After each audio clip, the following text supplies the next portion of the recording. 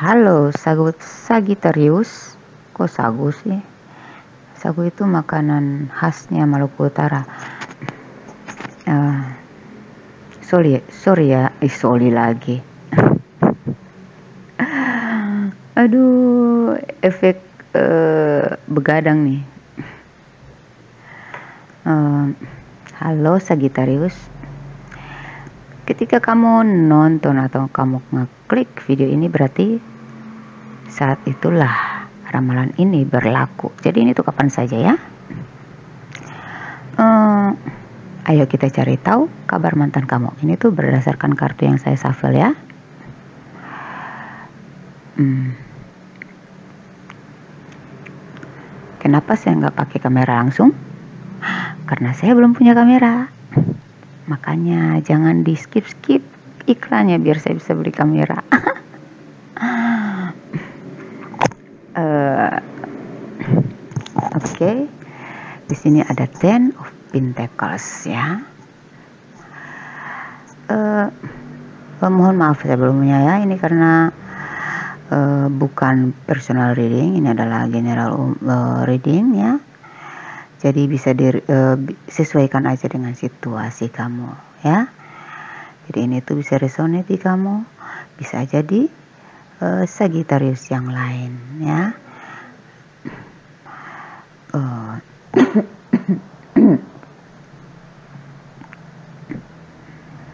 uh, kabar mantan kamu hmm Sepertinya dia sedang bingung. Dia bingung ya. Mungkin beberapa dari kalian berdilin dengan orang yang sudah menikah.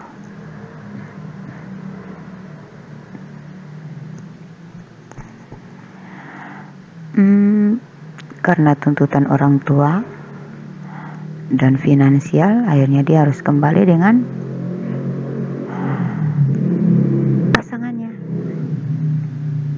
Beberapa dari kalian berdilin dengan seorang duda atau jendes.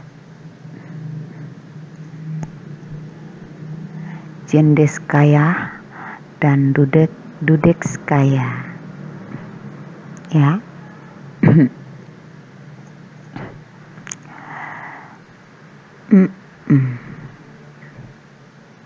Jadi,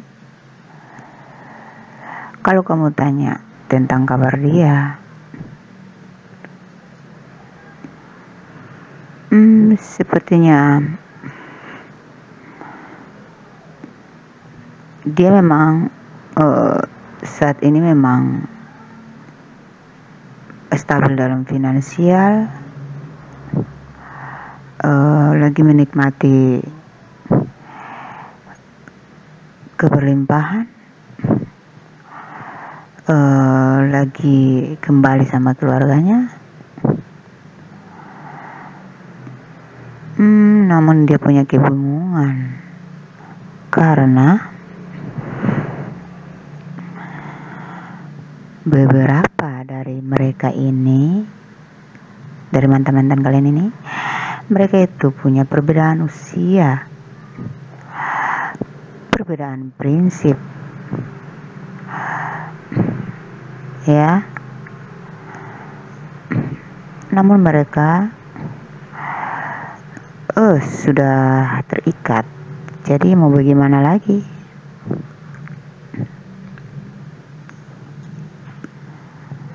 Pokoknya ada yang tidak sesuai di hatinya sebenarnya dia menginginkan kehidupan bersama kamu. Beberapa. Kalau kalian sedang berlindung dengan seorang duda atau janda hmm, dia ingin sama kamu tapi ada yang sudah dijodohkan ya. Hmm, ada yang terlalu jauh jaraknya jarak usia jarak tempat tinggal. Ada juga karena perbedaan agama. Ya. Hal-hal seperti inilah yang membuat mau nggak mau dia harus move on. Situasi dia sekarang itu lagi sakit ya.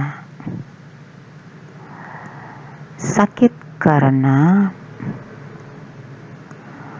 dia berusaha melupakan kamu dengan mencari hiburan-hiburan dengan orang terdekatnya. Tapi sama aja kamu masih ada di hatinya. Ya Kemudian di sini beberapa dari kalian mantan kalian ini fokus ke harta. Gono gini atau harapan-harapan cinta baru yang lain. Bagi dia masih banyak ya masih banyak yang ingin dia rasakan, nikmati, dan dapatkan. Kalau kita lihat dari The Devil ya, sepertinya dia saat ini tuh berada di hubungan toksik. Hubungan karena keterpaksaan atau terobsesi secara fisik atau terkena black magic. Wow. Uh,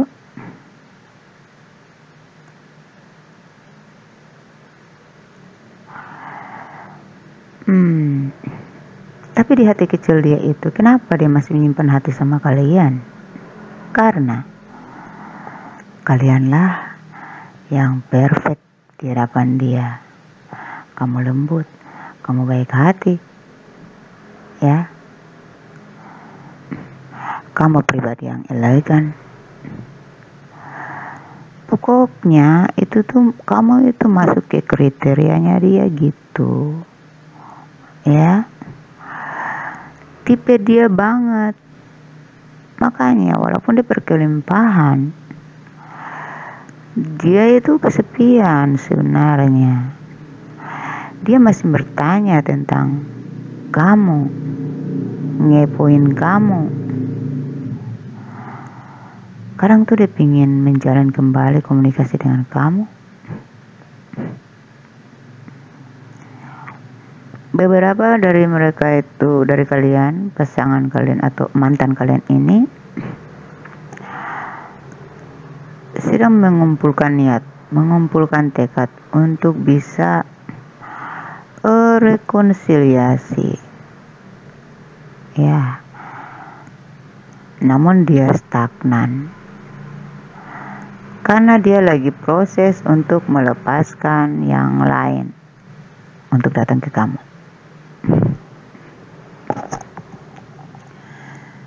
Jadi, Sagittarius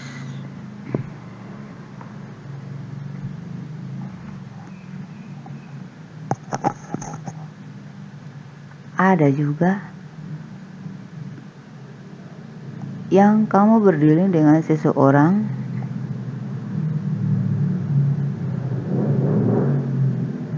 yang dia masih menginginkan kamu.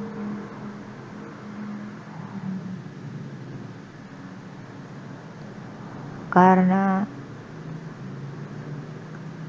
keberlimpahan kamu ya.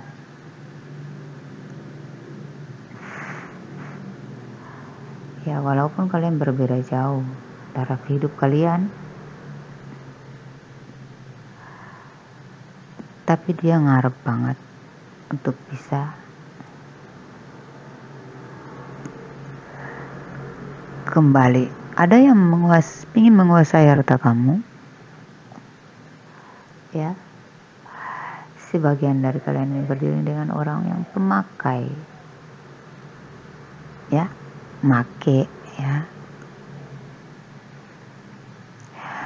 Jadi dia mempergunakan uh, cinta kamu, dia memanfaatkan cinta kamu untuk memperdaya kamu agar dia bisa meng apa ya menguasai finansial kamu. Pada ditopang gitu. Iya.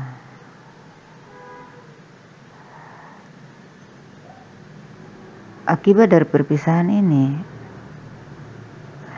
ya dia kehilangan sosok yang baik hati yang membantu dia selama ini. Ya. Jadi dia itu sulit saat ini ya. Di satu sisi dia ingin kembali di satu sisi dia menyesal bersedih dan di sisi lain dia sudah merasa bahwa hubungan ini sepertinya kamu sudah tahu kesalahan dia. Ya awalnya dia memang cuma memanfaatkan kamu.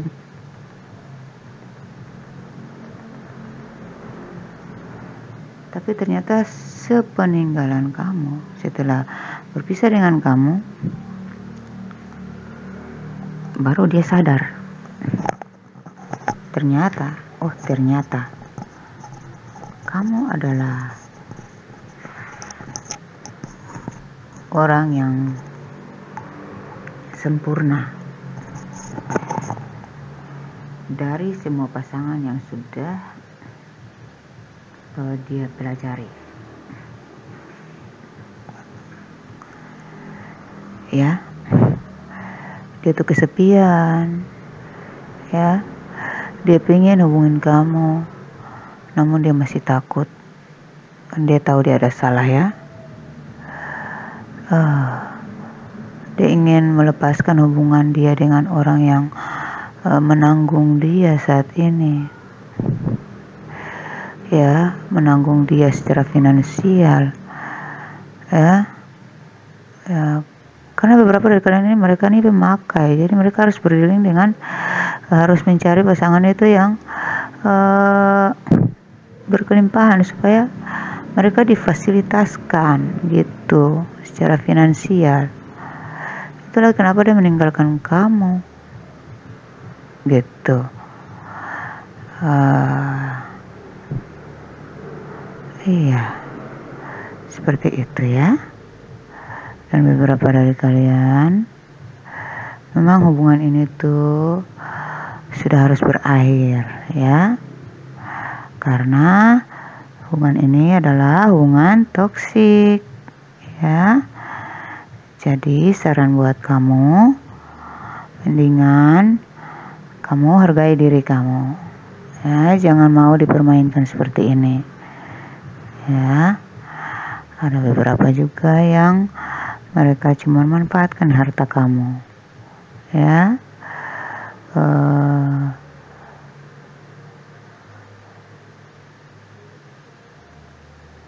akhirnya mereka sadar ternyata kamu adalah sesuatu yang terbaik ya. Uh, pribadi yang paling sempurna ya.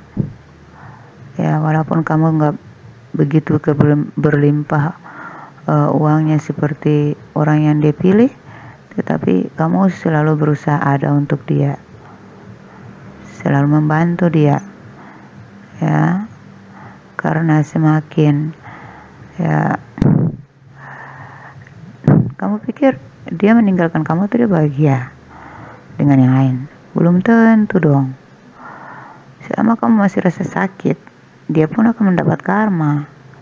Itu hidup ini kan seimbang, sepasang, selaras. Ya. Jadi apa pun perbuatan mereka kepada kita itulah yang akan ditelan mereka sendiri gitu. Ya. Uh, jadi kalau kamu bertanya tentang mantan kamu ya udah kalau sudah toksik ya udah lepasin aja tapi kalau kamu masih pingin menjalin komitmen dengan dia, kamu harus bisa merubah dia. harus bisa membuat dia itu uh, melepaskan kebiasaan buruknya ya membantu dia untuk uh, berubah menghilangkan kebiasaan buruknya ya uh, kalau kamu mencari kamu ingin kembali sama mantan kamu kamu masih cinta sama dia coba kamu ingat-ingat deh selama berhubungan dengan dia jalin hubungan kasih dengan dia itu kebanyakan apanya? Bahagianya ataukah toksiknya? Huh? apakah kamu dimanfaatkan? Apakah kamu oh, dia ada ciri-ciri hanya terobsesi dengan fisik kamu aja? Atau karena harta kamu. Jadi cobalah lebih teliti dalam mencintai seseorang. Jangan sampai kita mudah tergiur dengan rayuannya kecakapannya ya ketampanannya ya penampilan luarnya gombalannya sehingga kita hanyalah menjadi uh, bulan-bulanannya. Menjadi uh, orang yang ya pada dasarnya kalau kita sudah sadar ya kita sudah terbangun dari uh, kebodohan kita kita akan merasa berpikir bahwa kemarin itu kenapa saya bodoh sekali ya? Gitu. Seperti itu ya. Jadi sudahlah ya kamu yang sudah berhasil meninggalkan mantan kamu kalau kamu merasa bahagia dengan dia hanya karena ada orang ketiga yang membatasi kalian itu masih bisa ya tetapi kalau orang yang sudah memanfaatkan kamu secara finansial dan hanya memakai fisik kamu saja, itu tidak baik. Itu tidak bisa diharapkan. Orang seperti ini tuh sulit ya, tidak akan membahagiakan. Kecuali kalau dia benar-benar insaf. Ya, kamu bisa membuat orang yang insaf. Kamu kuat. Aduh udah deh. Hidup, kamu tuh udah nyaman. Udah happy. Ya. Ada orang itu masih aja nggak mau move on. Karena oh, gue cinta, masih cinta masih sayang eh, ada yang lain juga pada bersyukur oh, syukur gue lepasin kalau enggak masih aja dimanfaatin gitu jadi cobalah merubah cara pandang ya. Uh, semua orang tuh pernah merasa kecewa. Semua orang merasa, pernah merasa di, uh, menjadi mantan gitu ya. Jadi uh, tergantung pikiran mereka. Pikiran mereka lah yang mengarahkan mereka. Kalau kamu mau masih pingin lanjut di hubungan toksik, maka kamu akan terus berada dalam angan-angan bahagia kamu. Ya, tetapi kalau kamu merubah cara pandang kamu, ya, e, dari berbagai sisi, ya, kamu menilai segalanya dengan pikiran yang luas dan pikiran positif kamu, ya, dalam ketenangan pikiran kamu, ya, kamu akan melihat uh, apa yang selama ini disembunyikan dan kamu akan merasa lebih pantas meninggalkan orang-orang toksik daripada mempertahankannya ya. Jadi orang-orang yang sudah merubah cara pandang mereka ya uh, mereka itu justru malah bersyukur gitu. Uh, syukur. Udah lepas dari dia gitu. Uh, apa kamu mau nunggu sampai dia melakukan hal yang sama kepada orang lain? Terus uh, kamu nyaksiin gitu? Ya baru kamu bilang syukur udah gue tinggalin gitu. Syukur udah nggak sama saya gitu. Mau ya? Hmm. Makanya ya uh, ini tuh nggak resonate ya semuanya ya. Tapi ya saya melihat beberapa dari kalian tuh mereka cinta hanya mereka terpaksa harus meninggalkan karena kebutuhan finansial mereka. Karena kenapa? Banyak ada yang terobsesi sama harta uh, ada yang mimpinya besar tapi uh, bisanya jadi benalu. Ada juga yang benar benar-benar serius sama kamu tapi mereka dijodohkan ya. Uh, kalau yang dijodohkan dan mereka terpaksa bukan karena harta atau hanya karena mereka menghargai orang tua mereka ya atau mereka memang harus kembali kepada keluarga mereka ya atau perbedaan lainnya ya dia ini orang yang uh, tulus ya. Dia orang yang mencintai kamu dia masih kesepian dia masih ingin rekonsiliasi ya. Namun dia terstagnan saat ini karena masalah keuangan ya. Uh, satu saat dia akan datang sama kamu untuk bercerita tentang apa yang dialami dia dan mengungkapkan isi hatinya kepada kamu bahwa dia itu sangat kesepian. Dia sudah lama menginginkan komunikasi dengan kamu lagi. Uh, cuman dia malu gitu ya. Karena nggak punya akses ke kamu. Mungkin kamu blokirin dia atau dia dibatasi dengan kesibukan dia di apa lingkup uh, kehidupannya saat ini.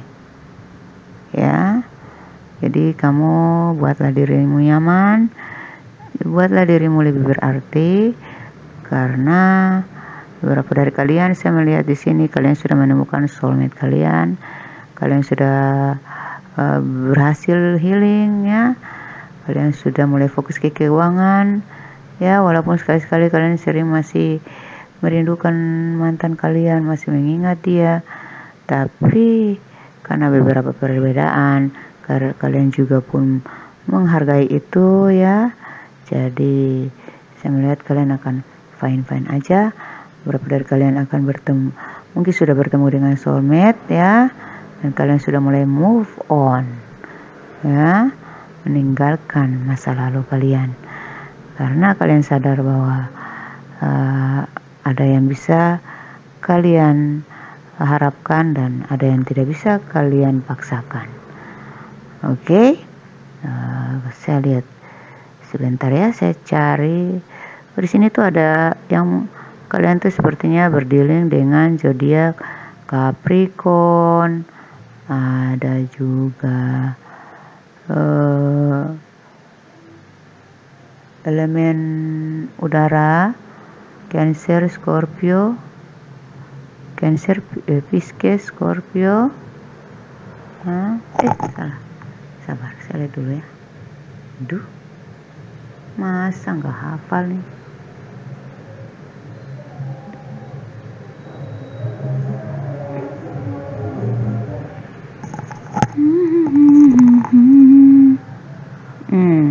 oke di sini tuh ada yang berdileng dengan uh, Capricorn uh, dari elemen air juga. Uh, Capricorn Taurus Virgo ya yang kuat di sini. Kemudian ada uh, Aquarius eh bukan bukan Pisces, Cancer, Scorpio.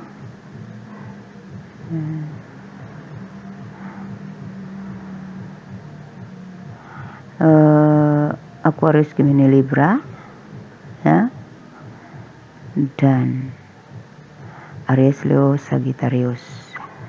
Yang paling kuat sini, hmm,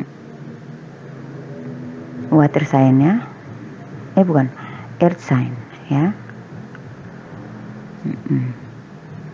seperti itu Oke, sampai di sini dulu pembacaan saya untuk kabar mantan kalian. Semoga ini menginspirasi, semoga ini bermanfaat. Wassalamualaikum warahmatullahi wabarakatuh. Bye bye.